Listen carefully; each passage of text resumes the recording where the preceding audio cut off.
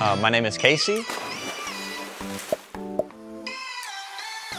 So my position here at CSB, I'm actually a sales associate. My favorite thing I get to do here is probably test the boats. I get to spend some time on the lake, uh, whether it's on a demo ride or uh, if I just need to go out and learn a uh, product. Covering boats in the evenings. My favorite thing to do on the water, I am getting into surfing, but I'm actually just more of a boat cruiser. So all day long, hanging out with, uh, with friends, family, drinking, and uh, just cruising around. But surfing is uh, number two for sure. So my dream Tigé is gonna be the Z3.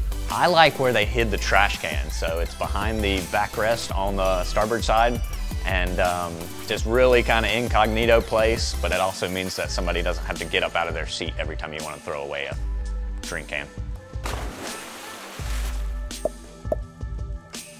I would probably take Amanda because she's the most high energy, most fun person here.